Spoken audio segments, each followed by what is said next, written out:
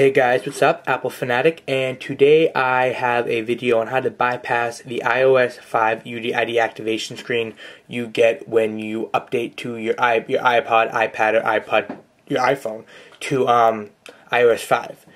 In order to bypass this, you are going to have to obviously be running iOS 5. A word to note is if you bypass it on an iPhone, you will not be able to receive text messages, data, or receive phone calls and vice versa with sending. You won't be able to do anything with the data because you're bypassing your cellular setup. Um, and it does not fix it when you plug it into your computer. So um, I don't recommend doing it on an iPhone you use. If you have a spare 3GS lying around or a spare 4, go ahead and try it out. Um, but yeah, so let's get started. You'd, once it's restored, you should see a uh, thing that looks like this, and it will say iPod. You're going to want to go ahead and triple click on your home button to enable VoiceOver. VoiceOver on. Alright, so once your VoiceOver is on, you're going to want to click once up here where you see the time. 7.09 p.m. Take status your bar. three fingers and to the status bar, you're going to want to drag down. You are now in the notification center.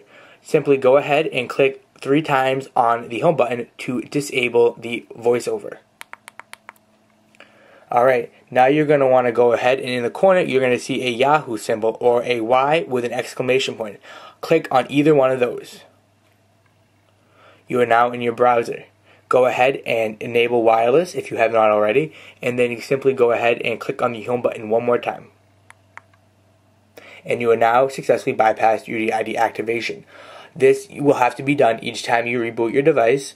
Um, if you have a tethered jailbreak, I mean, if you jailbreak it, um, there's a video out for I put out. If you want to look at it, you can click on the screen now and it'll redirect you over there.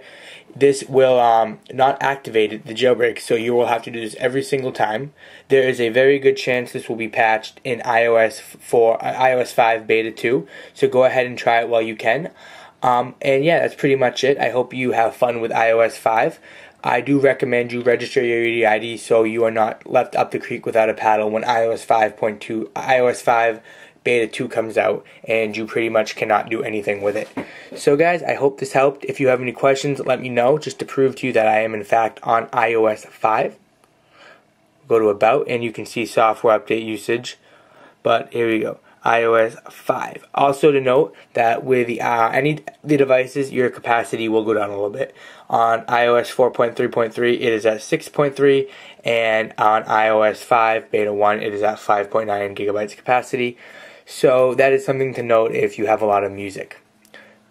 So that's pretty much it. I've also noticed that multitasking does not work if you do not have a registered UDID, but iTunes Sync does work and I will just show you that real quick so you have proof.